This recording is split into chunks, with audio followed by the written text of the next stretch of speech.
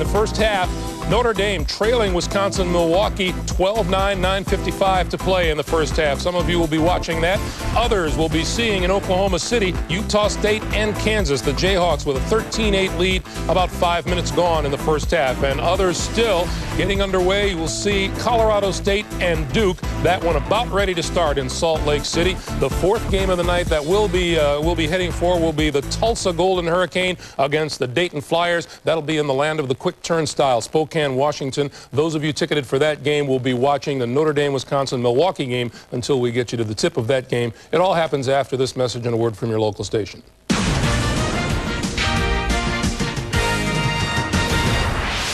Lead at 13 to 8 inside Collison. Hinrich. Michael Lee, the sophomore from Portland, Oregon. And a rebound through the hands of Langford, collected by Penigar. The Aggies of Utah State from the Big West. Brown trying to go inside. Lee knocked it away, and they scramble for it with Penigar losing it inside. And finally, it's reeled in by Graves, and here comes Hinrich the other way. Off to Langford, diving inside, and a foul. Mark Brown with a poor decision on the other end, taking it into traffic when there was nothing there. And what that led to was a Kansas fast break.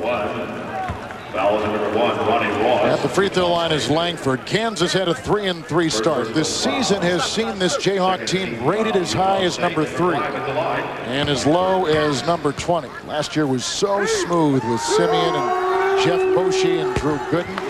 Simien was a guy that they were looking for so much for this season. But he's out now, and they've had to work with the short bench as you see Notre Dame tied with Wisconsin Well, with Wayne Simien in the starting lineup, Kansas and Roy Williams had the best starting lineup in America, just not much beyond that. And with Simien out, Jeff Graves forced into the starting lineup where he has performed admirably, but that has put everyone else at a bit of a disadvantage. It has really shortened that bench and forced others to play minutes they otherwise would not have played. Kansas still does start three players that were in the Final Four a year ago, and Long-range jump shot by Ronnie Ross in the game for the first time won't go. Hinrich, Langford, skies and puts it in. Well-timed pass by Kirk Hinrich. And Langford finishing off nicely on the other end, and Kansas has their biggest lead tonight in losing Drew Gooden and Jeff Boschee from last year's team, it wasn't so much who would replace them. It would be who would replace Wayne Simien and Keith Langford on that Kansas bench. Last year, Kansas could score all five guys on the floor in the starting lineup and could bring guys in off the bench that could score.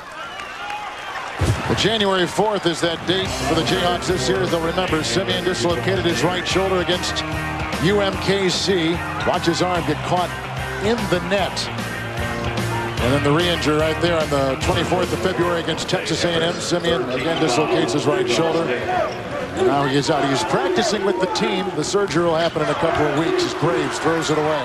Toreno Johnson has it. And that 1-2-2 three-quarter court pressure, it's been soft pressure, but that has really slowed Kansas down. Hinrich on Brown. Hinrich, a terrific on-ball defender. Penigar for three. Rebound Graves and a foul is called inside Nate Harris.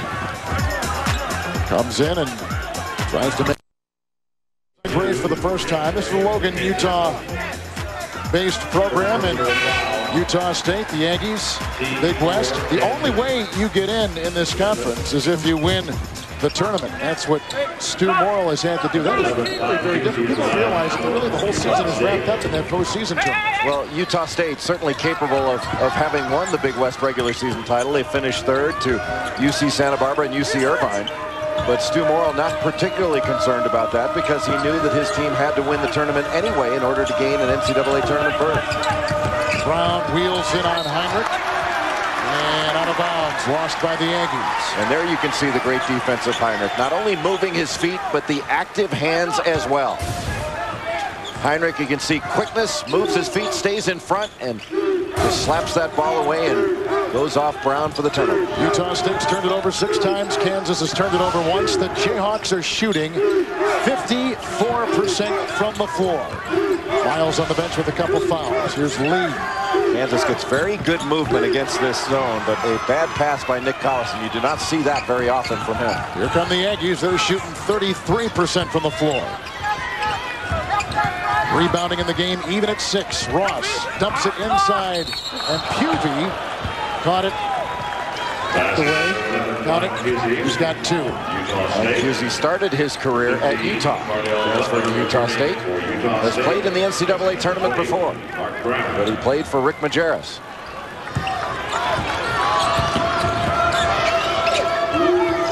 Brian Nash is checked in for the Jayhawks. Kansas by seven. They've led by as many as nine. This Utah State team very well coached very disciplined defensively. The only problem, they are not a great shooting team. Timeout with under 12 to play in the first half from Oklahoma City. Greg Gumbel and Clark Kellogg in New York as we take a look. Kansas with a 17-10 lead over Utah State. We'll get back to that game in just a moment. But first, at the RCA Dome in Indianapolis, Wisconsin, Milwaukee, and the Fighting Irish of Notre Dame. Notre Dame's lead is two in this game, but Wisconsin, Milwaukee came out strong tonight. Yeah, scrappy team that does a lot with their defensive pressure. Notre Dame has gotten a good contribution here in the first half from Torin Francis, the outstanding freshman and that's been able to weather this, well, actually been able to make up for the lack of a contribution from Matt Carroll. There Notre you see Francis with nine points for Notre Dame, leading the Irish. Notre Dame's big problem tonight, they've committed twice as many turnovers as Wisconsin Milwaukee, 10 to 5. Well, Wisconsin Milwaukee, again, with their pressure defense, they will turn you over if you aren't strong with the ball. And Notre Dame has fallen right into that pressure. And yet, despite the 10 turnovers, Greg, because of the inside play of Francis, they've got a four-point lead. All right. Meanwhile, Colorado State and Duke in Salt Lake City. And this game is just a one-point game, but it's still in the very early stages. What kind of chance does Colorado State have against Duke here? Well, again, the longer they kind of hang around and get shots to go and handle the ball, there's a turnover, and Duke in transition. Dahntay Jones will get to the foul line.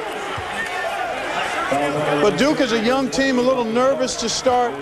But as they settle down and apply that defensive pressure, I look for them to get some easy scores and pull away gradually. All right, Clark, we'll keep tabs on all of these games for you. Let's get you back to Oklahoma City, Utah State, and Kansas. We rejoin Kevin Harlan and Jay Bilas. And 44 is Chad Evans for Utah State. Offensive rebound by the Jayhawks. Michael Lee on the miss by Hinrich. Kansas in white, Utah State in blue. Brian Nash Penigar for two. He's hit two in a row off the bench. Brian Nash from Carrollton, Texas for the Jayhawks. And Kansas, their biggest lead tonight of 11. Cardell Butler in the game, and he tried to feed inside. Evans ends up with it. Nelson couldn't do anything with it, and out of bounds it goes. Number five, Keith Langford. Number two seed Kansas, number 15 seed Utah State. The Jayhawks have led by as many as 11, which they've got right now, 21 to 10. Utah State winning the Big West postseason championship. Jayhawks, the Big 12 regular season victors in the two seed. They are in the West region. Utah State switching their defenses up, going from man to zone, trying to take Kansas out of their fast break and secondary break. Put on a little one, two, two, three quarter court pressure, but it is so hard to stop Kansas because they are so efficient and get the ball down court so quickly. Notre by four. You see Duke there by three. There's some of the scores roll in front of you with Wisconsin beating Weber State, the Big Ten with the win right there. And Missouri, another Big 12 team, along with Oklahoma winning and Kansas right now on top with 21 to 10. Other scores along the way.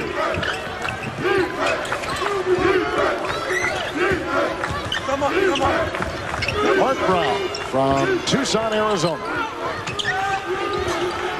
Working on Miles. Nelson on top, draws the defensive Graves. Outside shot is put in a beauty by Cardell Butler from San Francisco. And that little drive by Nelson just enough to draw the defense off. Back to the 2-3 zone. Another defensive switch by Stu Morrill. He's trying to give Kansas some different looks, see if they can slow the Jayhawks down, make them run some half-court offense. Langford trying to carve his way inside.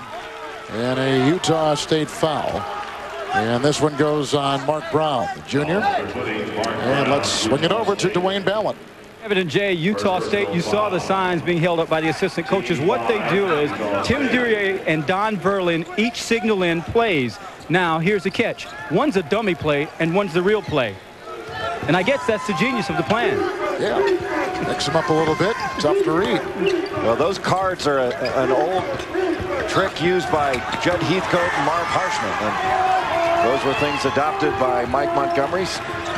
Stu Morrill coached with Montgomery at Montana, but I have not seen the competing cards trying to throw off the opposing defense. Three on two, Langford just the other way and puts it down for the Jayhawks. Langford has eight, and that is a game high eight for Kansas. Penigar has six for the Aggies. You know you've got smart players when they can figure out a signal system. They know one's a decoy and one's for real. Chad Evans from Ogden. He's on top. Butler feeds to Brown. He shed the defense of Lee and back to Butler. Two-point attempt right here. Penigar trying to tap it back in and over the back. A foul, and it's called inside. Keith Langford, the lefty slasher. Great body control. Lets the defense fly by. He puts the brakes on. There's Charlene Taylor, Keith Langford's mom. And uh, Jayhawk wear tonight, watching her son play. There's Keith, who has had a wonderful sophomore season for the Jayhawks. Penigar just picked up his first personal foul for the Aggies. I was a little surprised that Keith Langford didn't get more mention for all Big 12 this year. Had a terrific season, averaged over 15 points per game, and shot over 50% from the field, yet he was only honorable mention all Big 12. Thought he should have been at least second team. He's only had a total of four free throws taken in this first half. Kansas two of two, and Utah State two of two. Here's Collison. Quiet so far. He's got four. Stays there. Rebound by Spencer Nelson. Now to Cardell Butler. Over Hinrich, who got well in his way and altered the shot. They fight for it, as you can see inside. And finally, Butler comes out with it, a fresh shot clock with which to work for Brown, and he'll reload the offense. Hinrich saved a basket. He is so good defensively.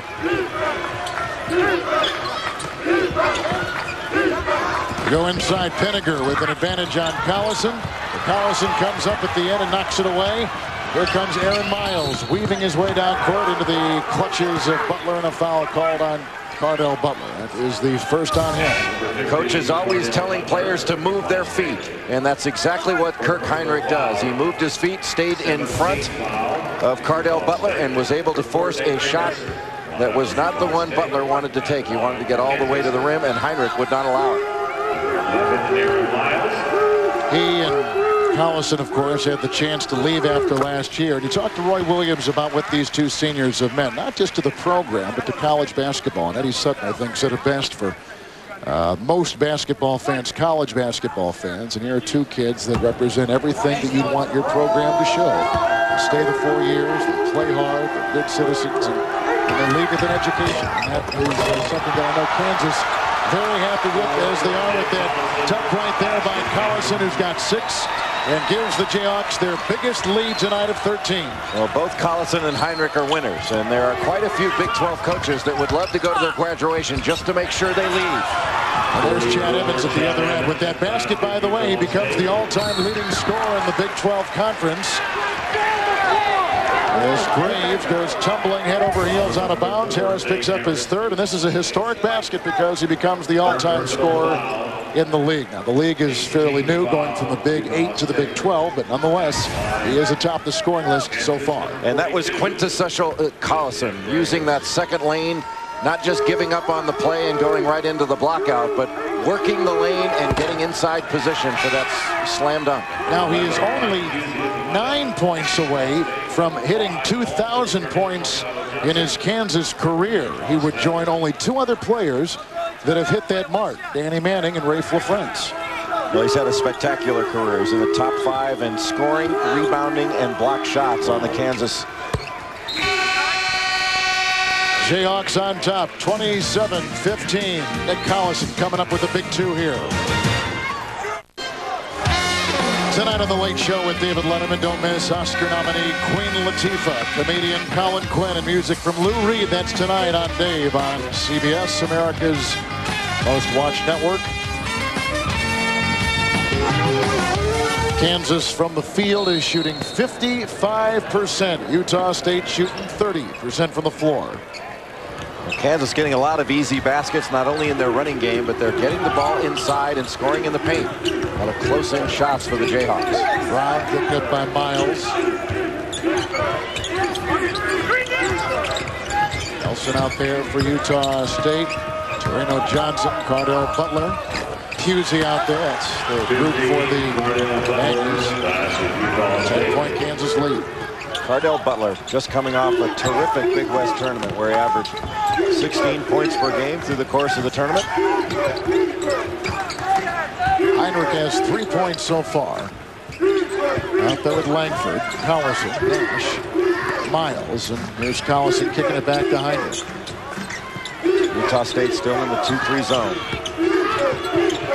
Really the only threat to shoot the ball from the perimeter. Langford can shoot it, but it's right there, Kirk Hinrich. Hinrich for three. And he gives the Jayhawks their biggest lead tonight, 30-17.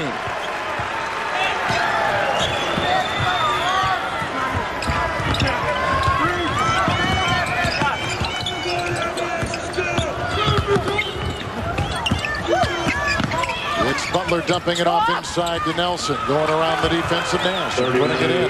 Spencer Nelson on the basket. Utah, Utah State runs a variety of different sets. They're hard to prepare for because they run between 30 and 40 different sets. You can see those cards over on the sideline, how thick that stack is.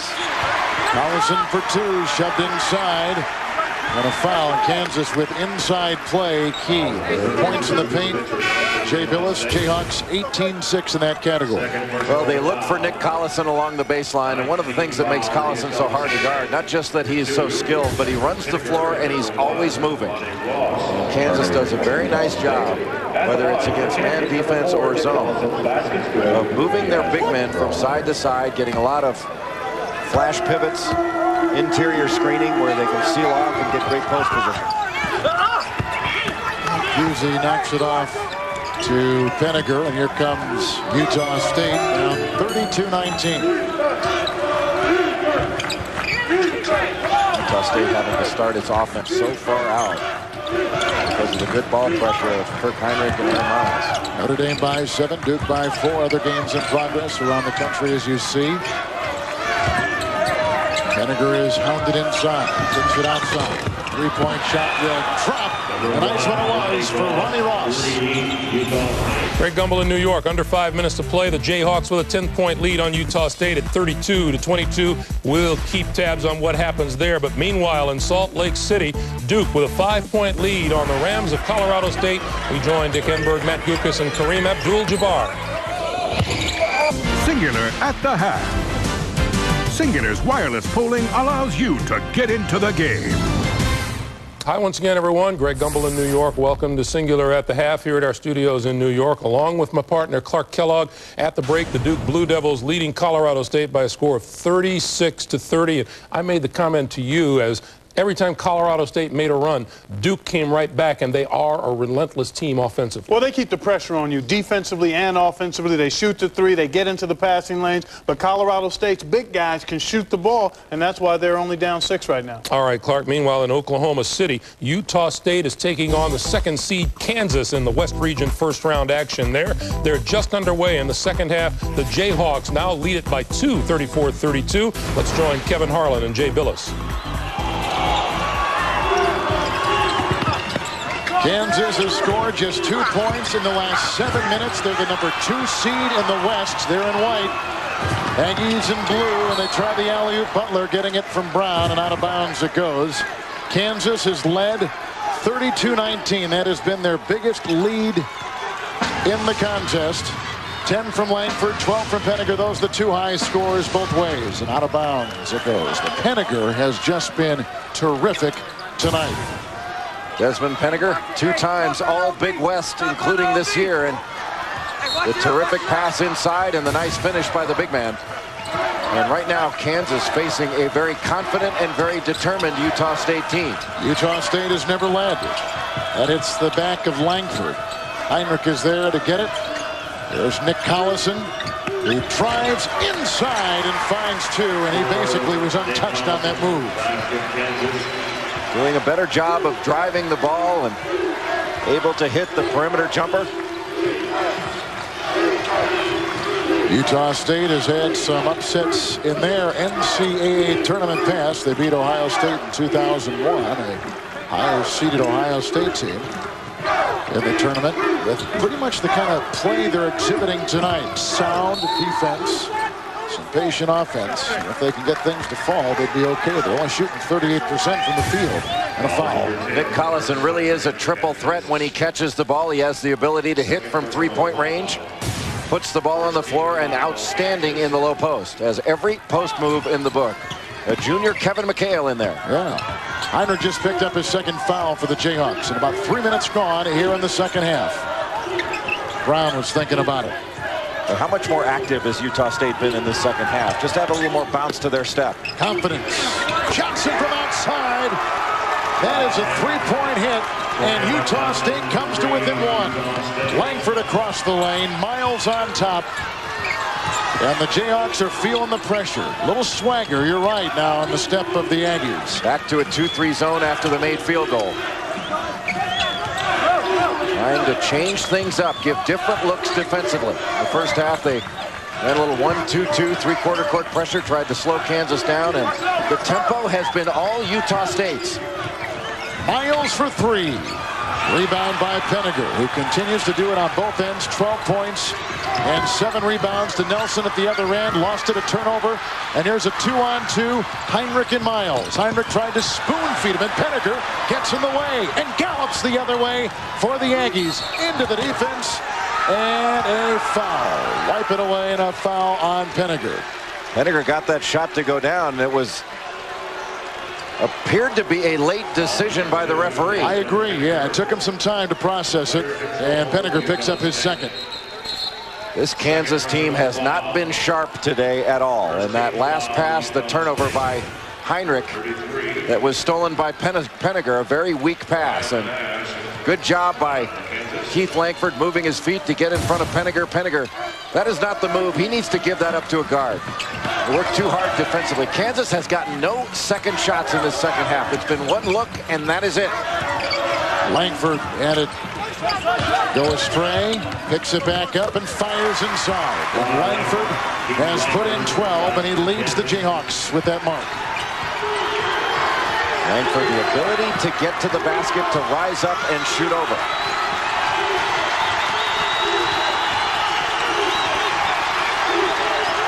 Is Cardell Butler. Hinrich is on him. They're going to try a trap with Miles. Brown, shot clock is at 12. They're just trying to increase the pressure. See if they can ratchet up the tempo that way. They lose it outside. Picked up by Hinrich, Quickly triggers to Miles. Gotta watch Collison here. Or Nash. They come at you in waves, and Brian Nash hits that on the fly, and he's got six. And Utah State wants a timeout. It's been close as Stu Morrill tries to keep his team in this against KU. 57 to play in the second half, and Kansas's lead over Utah State is 40 to 35. Continuing down the scoreboard in Indianapolis, Wisconsin Milwaukee is trailing Notre Dame, the number five seed in the West, by two, 39-37. Let's take you to the RCA Dome. Gus Johnson and Len We'll get you back there shortly, but first we want you to check in on what's happening in Oklahoma City, where Utah State has closed to within four of Kansas with nine and a half to play. Let's take you there. Kevin Harlan and Jay Bilas. Penigar now three of three from the line. Two seed Kansas, 15th seed Utah State. Kansas in the white. The Aggies in the blue. Biggest lead for the Jayhawks, 13. We've got 9.31 to play here in the second half. Some outstanding individual performances. Penigar for the Aggies, 19 points. Langford for Kansas has 16 for the Jayhawks. The 1-2-2 Half-court trap. Langford flies inside, can't get it to go. Michael Lee, a big offensive rebound. And the first one for Kansas in this half, and the first one in about 18 minutes. Right, saved by Collison. Plenty of time on the clock. Langford leads the Jayhawks. He feeds on top to Hinrich. Screen by Collison. It has been a long time since Kansas has gone 18 minutes without an offensive rebound. Great interception by Penigar. And they got Ross who will bring it up.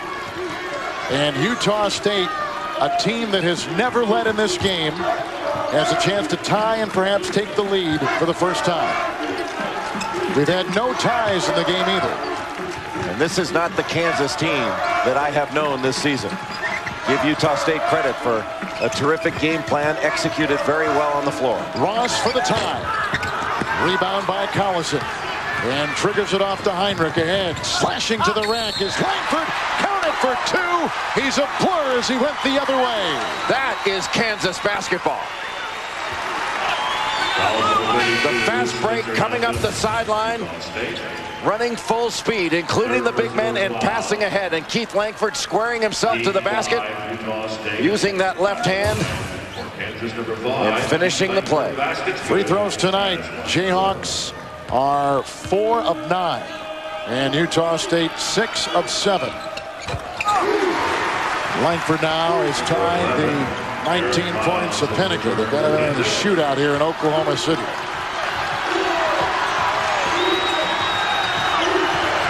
Even though Kansas not in control of this ball game right now, you have to think that they've still got the ability to wear down this Utah State team. Brown to Nelson. Graves on him. Trying to slip it into Penigar, and they do. Great double pump. Giving you a different move with every part of his body.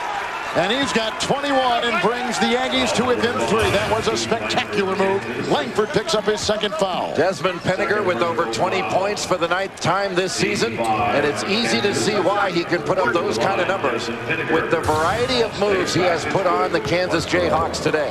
We're not talking about a slasher because his body would, would, would tell you that's not the kind of player he is. But we've seen those kind of moves tonight from him.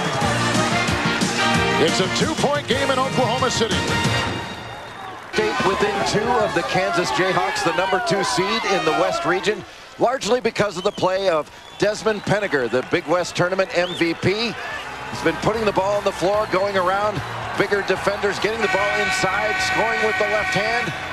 And he's got the touch to finish plays even when he is being fouled inside. And Desmond Penigar having another outstanding ball game. 8 of 14 from the field. Jay, he has scored the last eight points for Utah State and 10 of the last 12. Aggies have never led, have never been tied in this game, and they trail by two right now. Here's Miles. Kirk Hinrich, by has not scored in the last 18 minutes, 0 of 1. That is unheard of for this kid who has been spectacular his entire career at Kansas. Well, Torino Johnson's done a nice job on Hinrich, not letting him see it. Hinrich turns it over yet again, uncharacteristic of the All-American. Chance to tie right here. Butler drives inside, can't get it to go. Graves digs it out. Langford and Collison have been the guys. They have scored 19 of the last 21 Kansas points. Here is the aforementioned Langford taking it inside. And Collison saves it, but gets it right back to Spencer Nelson. And the Aggies again with about seven to play in regulation, down by two and a chance to tie or take the lead. And right now, Kansas is feeling some pressure because it has been one shot and out. There have been no second opportunities for the Jayhawks.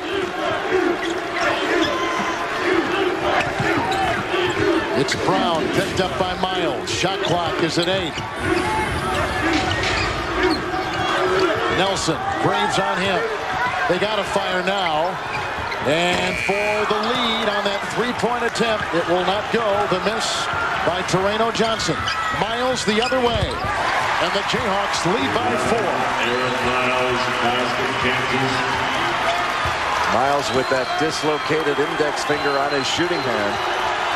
Took a couple of big shots toward the end of the ball game against Missouri in the Big 12 tournament. Shots that Roy Williams would rather he didn't take considering the injury. And not a very good foul there by Jeff Graves. Graves picks up the foul. That's the third on him. On the break, Miles, the ability to pull up and hit that medium range jump shot.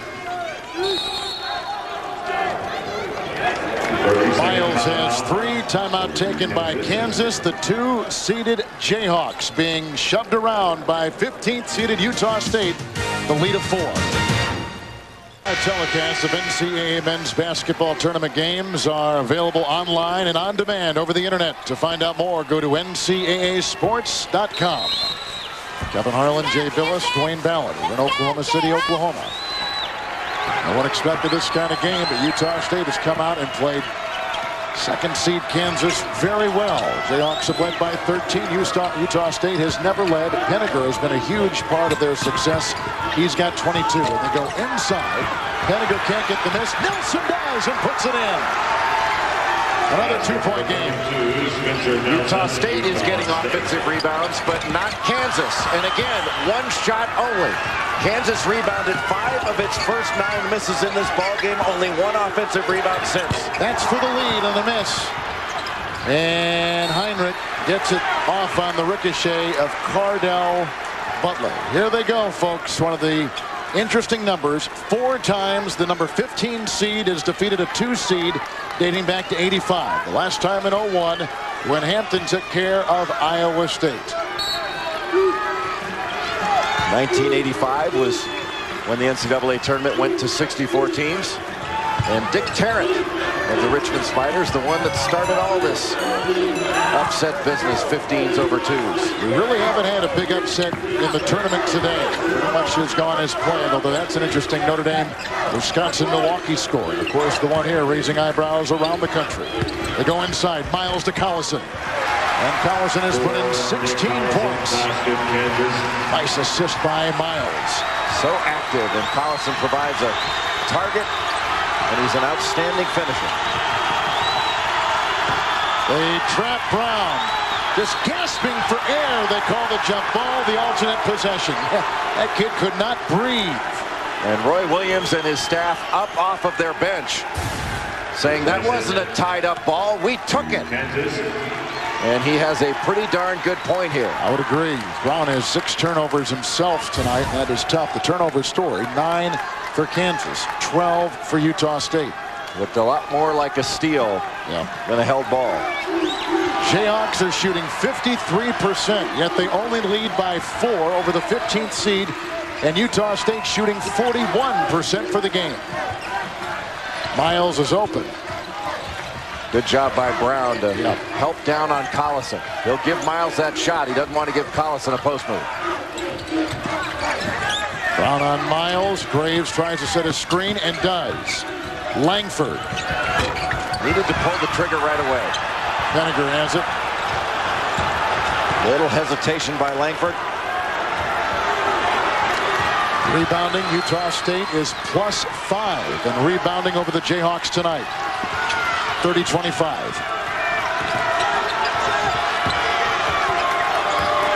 Ball set, high screen by Penigar. Brown slashing inside and throws it up. It's another two-point game. Brown has done a great job of beating Kansas off the dribble. Six times Utah State has come to within two of the Jayhawks tonight. But they have not been able to tie and certainly get over the hump. Two times have come to within a point. The 2-3 zone. Stu Morrill been going to the 2-3 zone after a made field goal. Langford, great spin move inside. Spectacular play. Counted for two. Langford has been the guy. He's got 21 tonight.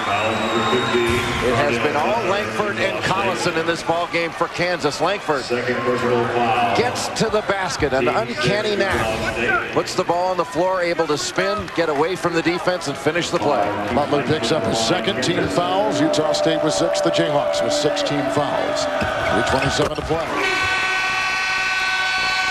Langford with 22. Penigar has got 22. Back and forth we go. Jayhawks now by five. Back in Oklahoma City, Kansas leads Utah State.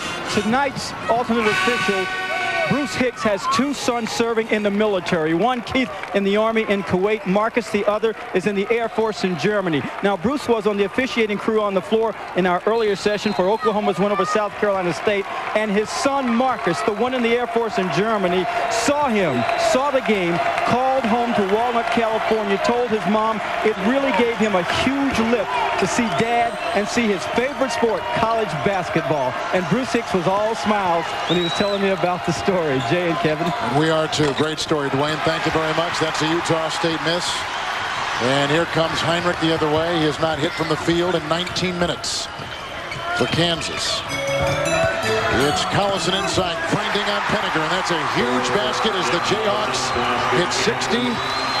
They are the number three scoring team in America, and they are now just getting to 60 points. And that shows you the maturity of Hinrich and Collison. Hinrich did not have the, or Collison did not have the move right away, pitched it out, and got better post position as a result. Hinrich and Miles on the two-on-one, and Hinrich hits. And Kansas busting it open, leading by nine. Their biggest lead has been 13. They're on a 7-0 run. And the capacity crowd filled with Jayhawk fans cheering on their second seed Jayhawks. Nick Collison getting good post position down low, but not good enough. When he gets the ball, he doesn't like where he is, kicks it out to Hinrich, and gets better position, gets an angle, and is able to get all the way to the basket. That is a mature post player. And Kansas, when they get in their running game, can be devastating. Utah State's taking them out of it, but that's how you get easy baskets, by doing hard things, and that is running the floor hard. Kansas has three timeouts. Utah State has two. Team foul, six apiece. We go inside to Nelson, guarded by Graves, and a foul by Graves. Graves now has four fouls. And let's check the CBS Sportsline stat of the game. Get complete tournament stats at CBSSportsline.com and America Online. Enter keyword CBS Sportsline. Spencer Nelson, Utah State. Nelson at the line. Two of two tonight. Jayhawks have had a lead as great as 13 points. We've mentioned before Utah State has never led. And they haven't even tied. It's an eight-point game right now with 2.17 to play. What does Utah State have to do? They have to take better care of the basketball. The last few times down, they've taken quick shots, and they've turned it over. And this Kansas offense feeds off turnovers. Collison 18, Langford has 22 for the Jayhawks, 22 for Penigar, and 10 for Nelson. Those are the game high scores for both the Aggies and Kansas. Hinrich has struggled tonight, eight points. He came up with a big basket those seconds ago. Miles on top. He's got a night of three points and six assists. Kansas burning some clock now. They'll get into a set. Langford trying to carve his way inside. A foul on Langford as he tried to work. The winner of this game will move on and play Arizona State. Of course, Kansas looking at that and the possible matchups down the road should they win with Duke and Anaheim, perhaps uh, Arizona. I mean, it's a brutal West region. It really is. Illinois advancing today as well. Penigar for three. Rebound by Johnson. Out to Brown. Penigar will set a screen and over Miles. The three is down. And a timeout for Utah State. They will not go away. Down now by four with 124 left. Jay Bilas, what's coming out of the mouth of Roy Williams? Well, right now, Roy Williams wants his team to take its time and make sure that they run something good out of this timeout. They have not done a good job most of the game in running their offense. And they need not only to burn some clock and use clock, but they've also got to get into a set and run it the right way. And Stu Morrill wants his team to guard. They can still get stops. No need to foul here. You want to play good, solid defense and make sure you clean it up with a defensive rebound. They've been doing it all game long, limiting Kansas to one shot. Utah State has come within one twice, within two, six times. And Graves right there. Collison. Graves gets it back and banks it in. Maybe his biggest shot of the game. Graves now has seven after missing his last couple from inside. Utah State did a pretty good job getting Graves to miss, but they weren't able to clean it up with a defensive rebound. Penigar for three. Good! right between the eyes.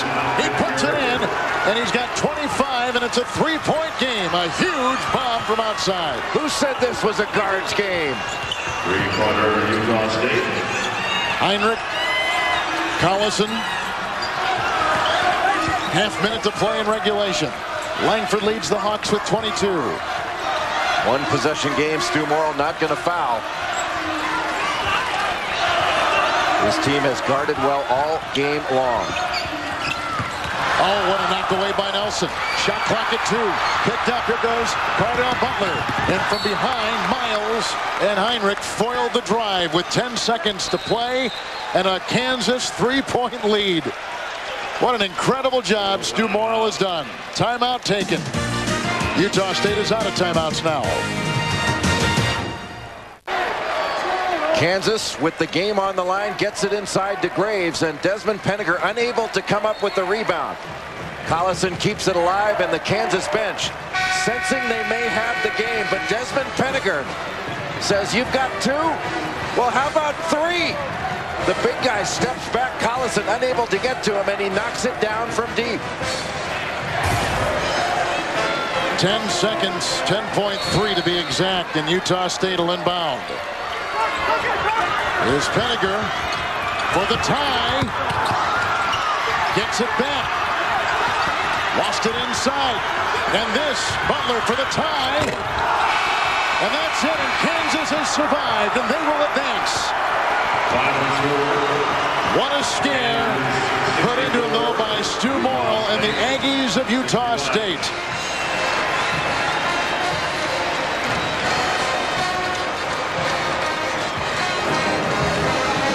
A fantastic game. Penigar finishes with 25 points and 8 rebounds. Langford for 22 and the Kansas winning cause. Not a particularly good look at first by Penigar, but a terrific pass by Nelson to get it out, and another good look. By Butler. They had their chances, and Cardell Butler just couldn't get it to go down. Nice shot fake to get the defense to go by. And Utah State gave it everything they had, laid their hearts on the floor. The Jayhawks win it 64 to 61. They will advance. They haven't lost an opening round game in 19 straight NCAA tournament appearances dating back to March of 78. So Kansas will play 10 seed Arizona State on Saturday. Desmond Penigar with 25. Keith Langford 22. For Jay Bilas, Dwayne Ballen, Kevin Harlan saying so long, and Greg Gumbel, what a day here in Oklahoma City as we send it to you in New York.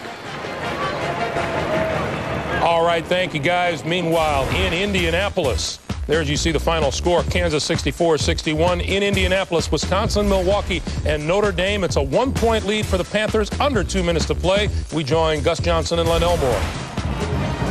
58 remaining in the second half. Milwaukee has Notre Dame on the rope, up by one. And it's been a battle of wills. Who can execute on the offensive end? Who can play the defense and string together a bunch of stops on the defensive end? Up and down all evening. Here's Quinn. Looking for Thomas. Nine to shoot. Cornette. Miller, six to shoot. Miller fires! And air ball right out of bounds. Wisconsin, Milwaukee took the lead on this three here. It was all about execution. Clay Tucker, best player on Wisconsin, Milwaukee, drives baseline, draws the defenders to an open Jason Frederick. And that's what we mean by execution. The team that executes flawlessly gets themselves in a position for a good shot or gets to the free throw line down the stretch will be victorious. Here's Tucker along with Lettenberger, Ronnie Jones, Jason Frederick, and Dylan Page. Of course, you got to make the free throw, which we've seen is not a gimme or a lock throughout today. There's a pick and roll. Jones with five to shoot. Inside. Page. Oh, it spins out. And the rebound. Uh, they call it a jump ball. The possession arrow favors Notre Dame with 53.8 to go. Wow. The winner of this game will take on the Fighting Illini on Saturday. Chris Thomas 27 points. Playing in his hometown of Indianapolis. Crossover dribble. Down the lane. Dumps it down. Cornette. Great catch. Get it to go. Francis is there. He lays it up and in. And the Irish reclaim the lead. 30 seconds left. Shot clock turned off. And Bruce Pearl right now is not going to call a timeout. He's going to let the clock run down. He's going to give it to their best player, Clay Tucker, the creator, and see what happens. We Yeah. talked about defense. One stop is all Notre Dame needs. One basket is what Tucker needs. Eight to go. High drama in Indy. Tucker down the lane. Lays it up.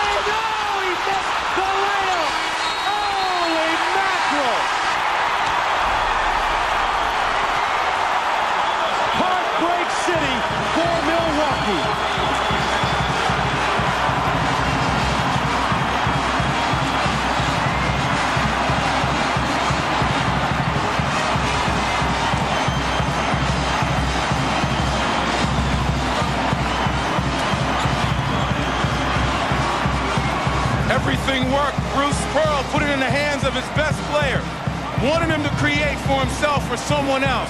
You can't get any better than this. Oh, my.